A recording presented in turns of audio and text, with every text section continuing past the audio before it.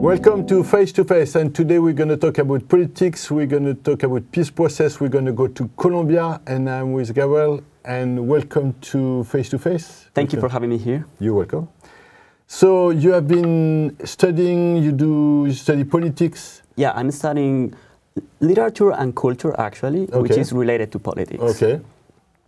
And I'm studying at uh, Stony Brook University in Long Island. Great. And then, so you follow the whole, the whole process, the whole election. It was just a few months ago election in Colombia, were very important election because of the peace process and so on and so forth. Yeah, I so, was following very closely the process, and actually, well, in Colombia we have like two rounds of uh, presidential elections, and the first one with several candidates, and the second one with the two front runners. Yeah. And I had the opportunity to go to Colombia for Ah, the great. second round. Oh, yeah. fantastic. So I, I could uh, experience You were in the middle of the fire Yeah. because it was very complicated, no? It was complicated, but it was exciting at, Mm-hmm, at the same time. And, I, and I think that that's the most important thing about what happened in Colombia. So can you synthesize a little bit what, how did you see the situation a little bit before the election and then during the election and then the, the result? Yeah, what I think what, what happened in Colombia uh, can be summarized like in two events. One event was uh, not a surprise, which was the rise to power to the right. Yeah. Uh, that was something to that was You expected. expected, yeah. I expected it. Uh, We had a peace process with a lot of problems. There was a plebiscite last year that was lost, Uh-huh. and then a lot of uh, inconformity with the center-right uh, government that we had before. So it was expected. But the second event was the rise of alternative movements, two kinds of alternative movements. One more like a civic, liberal, middle-class move, uh, social movement that is basically against this far-right government, and also, and that was the big surprise, uh, re-emergence of a more social and platform, political platform associated with uh, LGBT, environmentalism, uh, rural mo- social movements, And indigenous the communities. indigenous community involved. Exactly. Yeah. And that was actually the second candidate, the candidate was uh, at the end in the second place. And coming from a country in which Mm-hmm. all those social movements has have been stigmatized for Yeah. years, it was a And the big leaders surprise. are are killed almost, not every day, but it's, it's a lot of people who are still yeah, facing. that's a very uh, horrible situation that is happening Yeah. now. Like mm-hmm. social and community leaders are being killed in mm-hmm. increasing rates mm-hmm. after the peace process. So, but that also was something that was expected. Yeah. Yeah, because of the problems with implementation of the of the process. However, what is news is that now it is in the mainstream media uh, and is part of the mainstream political debate. Yeah. Like in when uh, killings decades before ha- were happening, it was not in the political debate. Like people basically just ignore this kind of situation. Now people are protesting against it. No, he was protesting in New York. He was protest. He was all, organized all over, in many many countries. I know in Spain. I know in Paris. I know. I mean, I know it's, it's it was quite a, a, a, a, a not a challenge, a big rally against the killing of. uh, Yeah, exactly. The, it was the day of the presidential inauguration. Exactly. So that when the new president was Took uh, office? yeah, Mhm. took office. Or at the same time, there was a huge rally of people protesting Mm-hmm. against him in part, but mainly defending social leaders. Mm-hmm. And so that's important because the, the political platform and the ideological conversation that was happening around those social leaders was out of the political debate because of the uh, armed conflict. And now it is again being considered as legitimate. And then that's the, the big news for me about what's happening now in Colombia.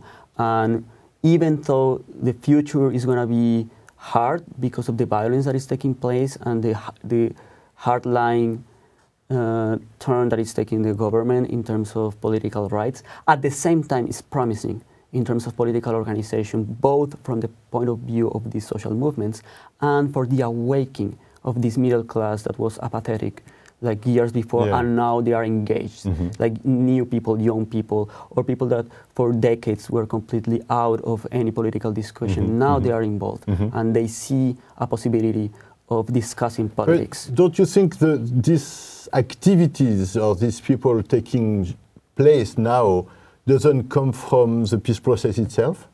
It comes from the peace it comes process. from the peace process. in a, in a way that is more complicated than just the peace process. Mm-hmm.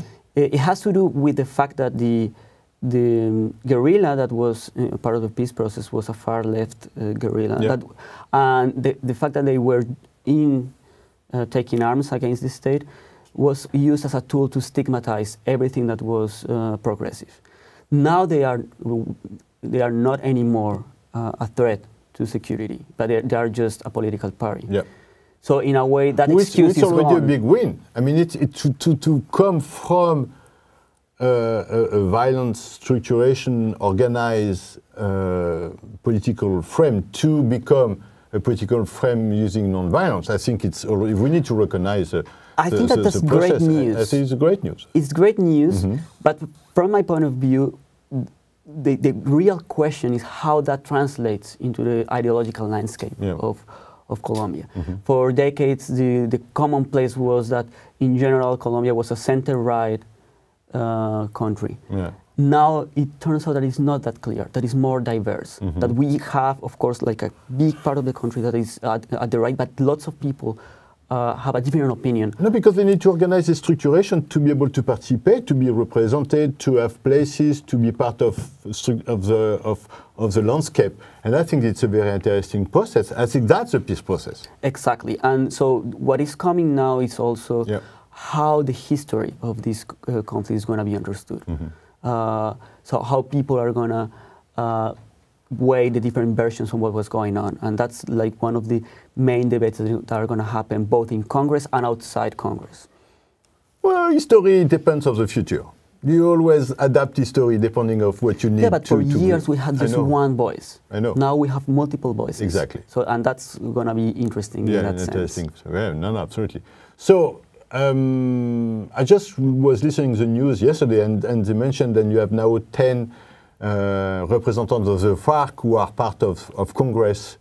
Uh, so the process is on, on, on onto, onto the peace process was that was part of the plan. Yeah, it was part of the plan. However, that was one of the most controversial Yeah, aspects of the process, Mhm. and probably most of people don't like them there.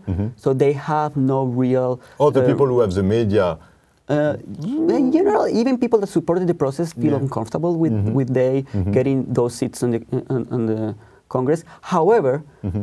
what is more important in the Congress is not only them. I mean, they are important because they are not fighting anymore, but they are in the Congress. But what is important is like the Congress itself had a significant change uh, from being like with no alternative movements there. Almost all new parties were about to die. Suddenly, we have like more than 30% of the Congress. and uh, women, and, and, like, and, and indigenous community, Exactly. and, and then and basically alter, like non-establishment uh, candidates. fantastic. Fantastic. And both from like what we call like liberal, Yeah. center, if you want, to more radical or more progressive candidates. We have very few time. I just want to, to, to, take, to have your take on, on, on the transitional justice. How, because I know it's becoming a big discussion now where the, the new government or the new elected government wanted to, to question that story. uh, they, they are going to question it and they are going to use the executive power Yeah. to basically delay Mhm. all that they can, the, Mhm. the transitions, Mhm. because the main aspect and the controversial aspect of transitional justice for them is precisely the truth. Uh, everyone knows Oh, what. so uh, they don't want to deal with that story. Yeah, So- yeah? everyone knows what the FARC did, but Yeah. no one knows what the state did. No one Yeah. knows what the establishment did during the war. Uh-huh. I mean, every, I mean, people know, but there is no official Discussion. uh, official discussion on it. Uh-huh. And the transitional process is always truth in exchange of punishment. Mhm. So that's a big fight, and Mm-hmm. one of the ideological fights that are, that are going to take place in the future is how legitimate is in public eye this transitional justice pro- process. Mhm. So that we'll see what happens. Exactly. Anything you want to plug? Any uh, some any information people should know about? Uh, yes, there is a one of the things that is going to be part of this uh, ideological change is a um, like a sort of a plebiscite, like a, a referendum on some propositions against political corruption, and it's Oh, going to take yeah. place in next August 26. Okay. We'll see what happens. Yeah. I mean, how legitimate is that process as well, which is Well, part who- of. Who's going to vote no? no, the uh, problem is not who votes no, but who Okay. goes to vote. Yeah. Okay, so you, need like uh, uh, I don't remember the the numbers, but I think that is more like 10 million people voting in order to pass. So Oh. it's a it's a huge it's a huge bar to to, oh, to so so it's it's in in reality it's a mobilization. It's it's a kind of a mobilization, and it's also a way to look for a legit for So let's say you have 10 million people who vote no to corruption. What's happened next? there are uh, uh, two things happen in terms Yeah. of like the technical thing is like it's a, uh, uh, a set of laws or, uh, that are going to go to Congress Okay. and they they have this possibility to, Yeah, to become law. to but more than that, and for me it's more interesting, is the the effect that it has in the Yeah, public. okay. So of a uh, is is part of this awakening of people watching Congress. Yeah. And So it's a little bit like the. I know you don't like too much the publicity, but of the of, for the peace process, it's it's. The difference is that it's less controversial. Yeah. It's less controversial because everyone thinks that the government is Yeah. corrupt, and that's But, an- th- but they need to mobilize 10 million people. it is it is a big challenge. It is it a is a big big challenge. So uh, I don't know. I'm I'm cautiously optimistic. Okay, so you're gonna have to come back. Okay. And then we leave it here for now. Okay. And then uh, thank you again for, for being on the show. Thank you. Appreciate it. Thank you. So that was Face to Face, and please keep watching your news on pressenza.com, and we hope to see you very soon. Thank you very much.